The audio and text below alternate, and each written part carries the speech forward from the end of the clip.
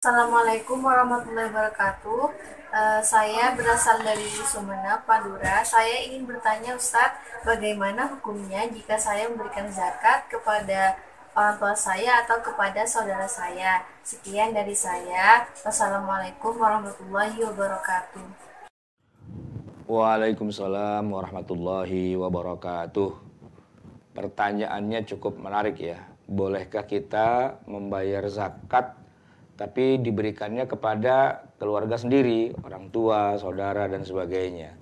Jadi begini, sebenarnya eh, zakat itu kan sudah ditetapkan siapa saja yang boleh menerimanya, yaitu ada delapan asnaf sebagaimana disebutkan di dalam Al-Qur'an. Innamas sadaqat, sungguhnya sedekah-sedekah atau zakat itu ya disebutkan lil fuqara wal masakin wal amilina 'alaiha wal muallafati qulubuhum terus sampai delapan itu ya. Nah, kalau seandainya mereka ini adalah ya, keluarga kita tadi itu adalah termasuk di antara delapan asnaf, entah dia fakir, entah dia miskin, atau dia apa mualaf dan seterusnya, maka pada dasarnya mereka memang boleh untuk menerima zakat. Tapi yang jadi masalah memang begini, tapi mereka itu masih orang tua saya, mereka itu masih keluarga saya. Nah, boleh apa enggak saya mengeluarkan zakat itu langsung kepada mereka? Nah, jadi jawabannya begini. Ada yang uh, mengeluarkan zakat itu yang ideal sebagaimana yang diajarkan oleh Rasulullah SAW, yaitu kita tidak mengeluarkan langsung kepada mustahik, tapi kita mengeluarkannya lewat jalur para amil, wal amilina 'alaiha.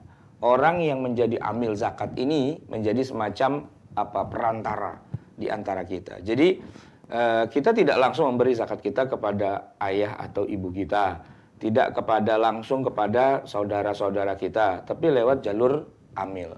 Cuma saja memang permasalahannya di kita kebanyakan amil itu sifatnya nasional. Jadi kalau kita bayar kepada amil itu ada di Jakarta padahal Anda misalnya ada di Madura misalnya kan. Ah, membayarnya kepada amil zakat yang ada di Jakarta itu harta yang Anda kirimkan kepada amil di Jakarta belum tentu bisa balik lagi kepada keluarga Anda di kampung itu. Nah itu yang jadi kendalanya. Seharusnya kalau mau begitu maka amilnya juga harus amil yang sifatnya lokal. Di satu kampung saja. Jangan amil yang jauh-jauh apalagi ambil yang level nasional. Itu akan membuat rancu. Karena Rasulullah SAW sendiri sebenarnya juga sudah menyebutkan eh, tu'khadhu min aghniyaihim faturaddu ila fuqaraihim. Harta zakat itu harusnya diambil dari orang kaya mereka dalam satu masyarakat ada orang kayanya diambil hartanya uh, kemudian dikembalikan kepada orang miskin di kelangan mereka. Jadi memang satu wilayah seharusnya memang di situ ada orang kaya, di situ ada orang miskin, tapi tidak direct. Orang kaya tidak langsung memberi kepada orang miskin. Ada amil di situ. Nah, sehingga orang kaya ini hartanya lewat amil dulu baru kembali kepada fakir miskin. Nah, kalau demikian maka mau yang menerima itu pada akhirnya adalah orang tua kita sendiri kayak atau saudara sendiri kayak itu nggak jadi masalah. Kenapa? Karena sudah lewat amil. Yang jadi masalah kalau kita membayar langsung. Bukannya tidak boleh sih membayar zakat langsung kepada uh, mustahik, tidak tidak tidak terlarang. Hanya saja nanti kalau kasusnya adalah membayar zakat kepada keluarga sendiri, ini para ulama membuat batasan-batasan. Yaitu misalnya gini, kalau keluarga itu adalah orang yang sebenarnya wajib kita beri nafkah.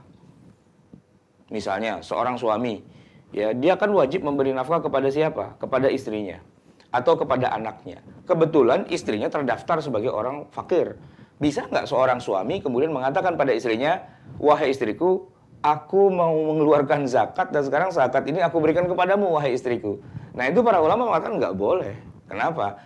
Ya memberi zakat kepada orang yang wajib dia beri nafkah itu tidak sah, tidak boleh ya karena ada ketentuannya. Walaupun orang yang nerimanya itu istrinya itu atau anaknya itu termasuk jajaran orang-orang yang apa yang uh, mustahik di antara delapan itu.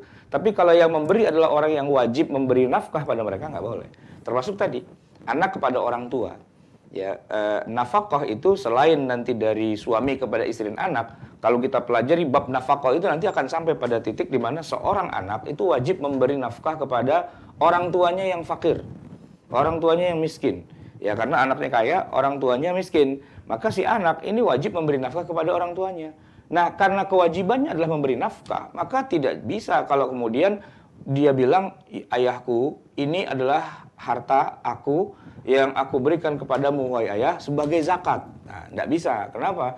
Karena kewajibannya adalah memberi nafkah kepada orang tuanya. Begitu juga kepada keluarganya yang tadi disebut. Keluarganya siapa? Apakah kakaknya, adiknya, paman dan sebagainya? Kalau memang secara hukum jatuhnya adalah ini kewajiban untuk memberi nafkah, maka tidak boleh itu dijadikan sebagai zakat. Nah, memang nanti ada juga yang tidak ada kewajiban uh, nafkah. Walaupun masih saudara, masih kerabat, masih famili dan sebagainya, tapi karena memang tidak ada secara alur syariah ada jalur kewajiban memberi nafkah, maka memang tidak apa-apa. Tapi untuk menghindari itu semua, alangkah baiknya kita pakai yang ideal, yaitu uh, bayar zakat itu tidak langsung kepada uh, kepada siapa? Kepada uh, mustahik, tapi kita bayar kepada amil. Angkatlah amil yang terdekat di dalam kampung kita.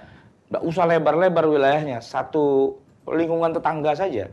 Katakanlah ada 40 rumah ya, itu misalnya satu RT gitu ya Nah, satu orang kita angkat menjadi amil. Nah, amil inilah yang kemudian menerima harta dari zakat-zakat kita se, se daerah lingkungan kita dan kemudian kita berikan kepada mereka yang berhak. Jadi, biar zakat kita ini tidak menyalahi ketentuan-ketentuan dalam hukum-hukum syariah.